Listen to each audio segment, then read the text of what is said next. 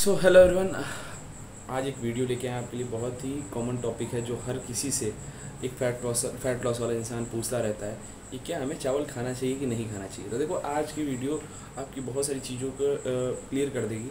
And like आपको एक conclusion के साथ हम इस वीडियो के एंड में भेजेंगे। एंड लाइक आप इस चीज़ से एकदम फ्री होकर जाओगे कि इस सवाल का जवाब लेके जाओगे कि चावल खाना चाहिए कि नहीं खाना चाहिए।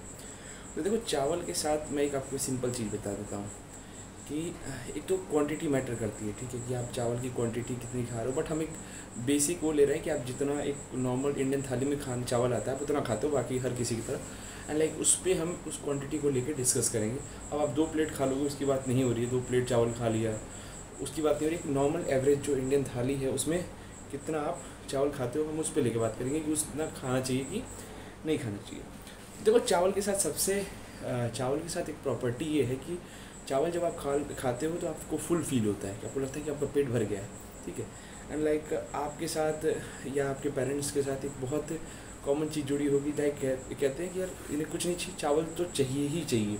मोस्टली नॉर्थ इंडियन के साथ ये सीन है कि उनको चावल तो चाहिए ही चाहिए खाने में, क्योंकि वो उनको फुल फील कराता है। रोटी से उन्हें फुल फील नहीं होता। है एंड लाइक एक चावल से वो बड़ी सेटिस्फाइंग फील करते हैं कि हाँ मैंने खाना खा लिया। तो देखो, चावल खाने से फैट लॉस का कोई लेना देना नहीं है, ठीक है? चावल आप खाओ, जितने, आप जित नॉर्मल इंडियन फ़ूड जिस नॉर्मल इंडियन थाली में जितना खाते हो, खाओ, उससे कोई इम्पैक्ट नहीं पड़ेगा।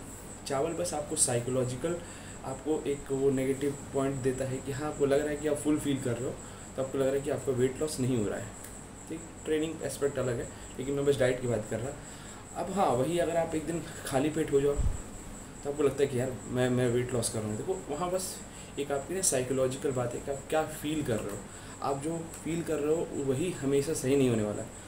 तो मेनली चावल के साथ सीन ये है कि वो आपको बस फुल फील कराता है। उसकी कैलरीज इतनी ज़्यादा नहीं है। बल्कि अगर मैं दो चीज़ों को कंपेयर रख दूँ कि चावल और रोटी, ठीक है? जितनी क्वांटिटी आपने चावल ली, उतनी क्वांटिटी आपने रोटी ली। आप ज़्यादा रोटी खाओगे।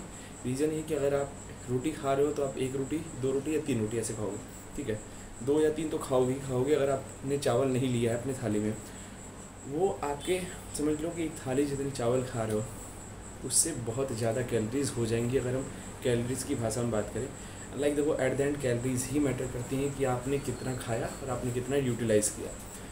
सो so, इस चीज़ का देखो बहुत ही साइंटिफिक वे में नहीं जाएँगे। मैंने एक ओवरऑल आपको बता दिया कि चावल खाने से आपका वेट लॉस से कोई लेना देना नहीं है। आप फ्री होकर चावल खाओ।